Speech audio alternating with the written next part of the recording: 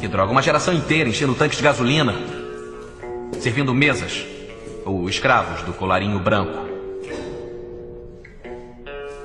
Os anúncios nos fazem comprar carros e roupas, empregos que odiamos para comprarmos porcarias que não precisamos. Somos os filhos do meio da história, gente. Sem propósito, sem lugar. Nós não temos grandes guerras, nem grandes depressões.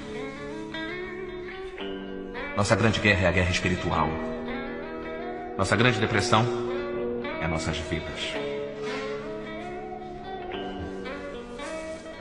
Todos nós fomos criados vendo televisão para acreditar que um dia todos seríamos milionários e deuses do cinema e estrelas do rock, mas nós não somos. Devagar vamos aprendendo isso. E nós estamos muito,